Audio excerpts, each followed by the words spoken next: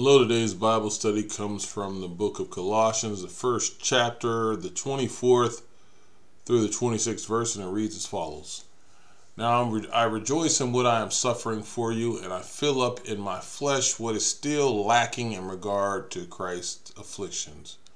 For the sake of his body, which is the church, I have become its servant by the commission God gave me to present to you the Word of God in its fullness the mystery that has been kept hidden for ages and generations, but is now disclosed to the Lord's people.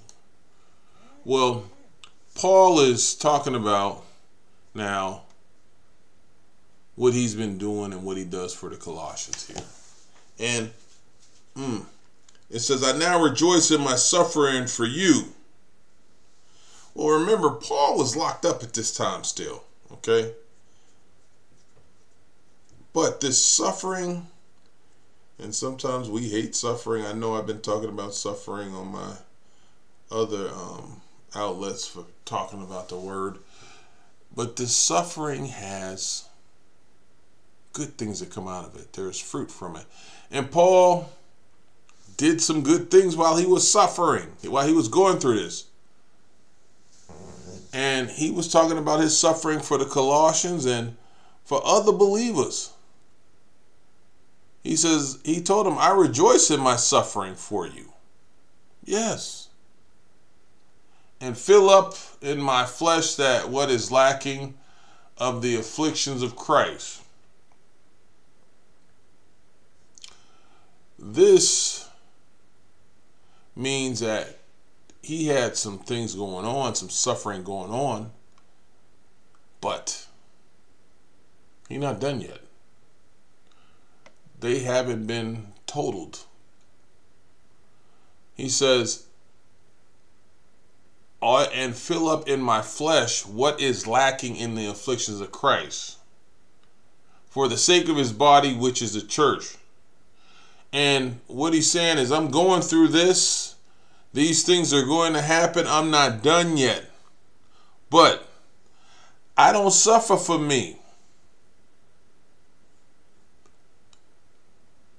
He suffered for the church, the body of Christ, not the building that you show up to, not the building that you hang out at, not the Methodist, not the Presbyterian, the Baptist, and all that, but for the body of Christ. He suffered. And Paul lets him notice, and he says, Of which I became a minister. Okay, so Paul was a minister, and I like the term minister because it means servant.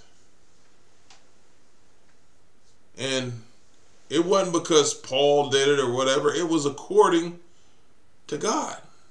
God was the one that got Paul into this. If you if you look at it right there, I become its servant by the commission God gave me to present to you the Word of God in its fullness. God working again.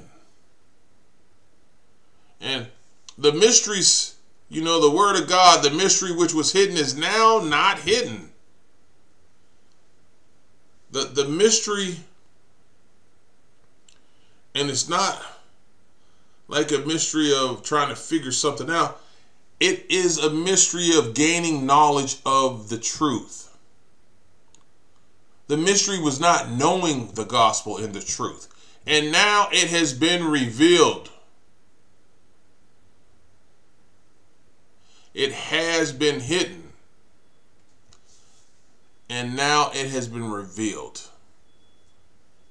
to his saints, meaning the Lord's saints. So Paul is saying, hey, it was hidden.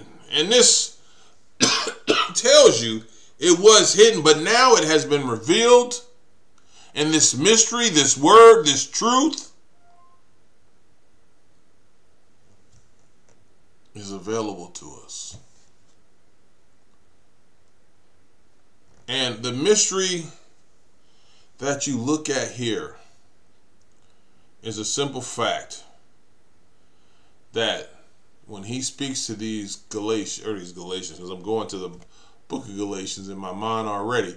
But when he's speaking to these Colossians, he's saying God's mystery is revealed to you also, which really says it's revealed to the Gentiles. And that's why I was going to the book of Galatians, because there is neither Jew nor Greek, male nor female, free nor slave, for we are all one in Christ Jesus. It speaks to the inclusion in the same faith that was afforded to the Jews is the same faith that is afforded to the Gentile. The same Messiah that was afforded to the Jews is the same Messiah that is afforded to the Gentiles.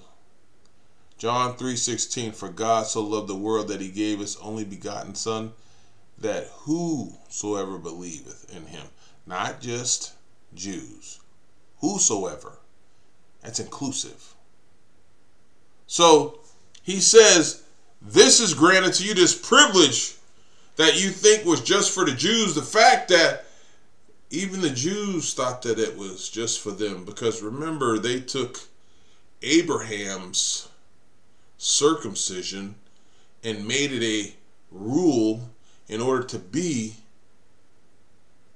a Jew and to have faith. But Abraham had faith before circumcision. Remember, God found him righteous before his circumcision, which was like 13 or 14 years later when his son was born.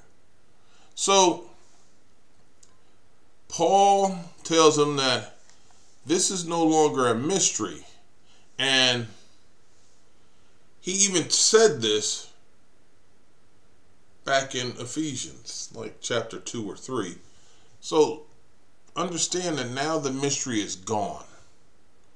Because God is God for everybody. If you thought that he was just for the Jews, Paul is telling you right now, God is for everybody.